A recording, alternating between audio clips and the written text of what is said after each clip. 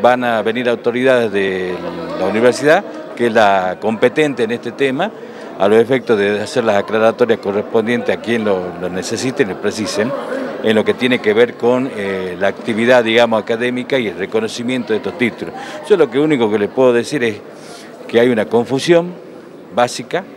es una universidad nacional, privada pero nacional, que la competencia no la tiene el Ministerio de Educación de la provincia, la tiene el Ministerio de Educación de la Nación, donde se han presentado todas las documentaciones dentro de lo que es el marco del seguimiento de lo que es el, expediente que corresponde a estas carreras y los títulos son otorgados por la Universidad eh, Nacional del de, Congreso.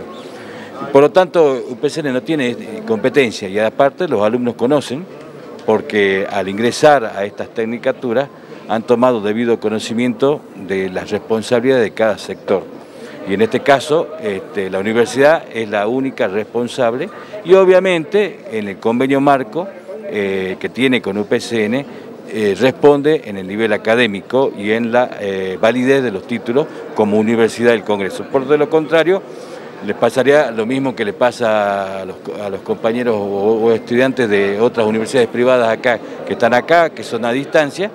que no necesitan la competencia del Ministerio de Educación de la provincia porque tienen que el, el organismo competente es el Ministerio de Educación de la Nación para su validación. ¿Pero no se le ha informado al Ministerio de Educación sobre estos,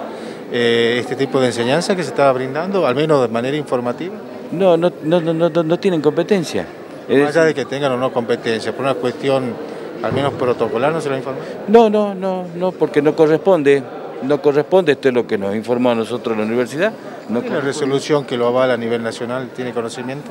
Y es lo que, es lo que vienen a informar los, los eh, docentes y hasta el vicerrector de la Universidad del Congreso para darle tranquilidad a los chicos.